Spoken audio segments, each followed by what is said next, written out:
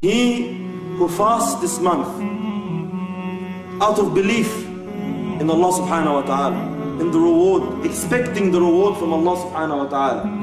Allah subhanahu wa ta'ala will forgive all his previous sins. What a reward. What a, what a gift. How merciful is Allah subhanahu wa ta'ala. Imagine all your life. Sin far away. People that want repentance, people that want Allah subhanahu wa ta'ala, this is your time. Aren't we tired yet? Aren't we burdened yet from being far away from Allah subhanahu wa ta'ala? Aren't we tired from being in sin day and night away from Allah subhanahu wa ta'ala? Instead of being pious believers to fear Allah who want deen between us and our Lord.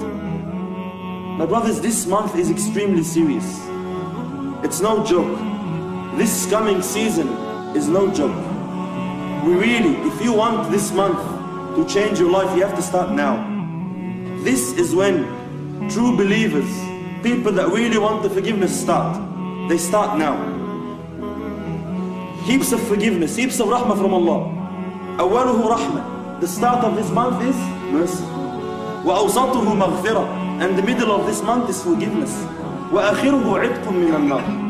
The end of this month is your neck being saved from hellfire, freed from hellfire. What a reward.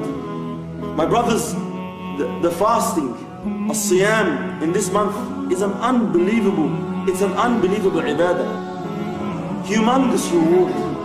All the actions of the son of Adam is for him, except for fasting. Except for fasting. Fasting is for me. I will give the reward for it. Allah subhanahu wa ta'ala has concealed its reward. Allah subhanahu wa ta'ala has concealed its reward. Fasting is a shield. Fasting is a shield against Jahannam.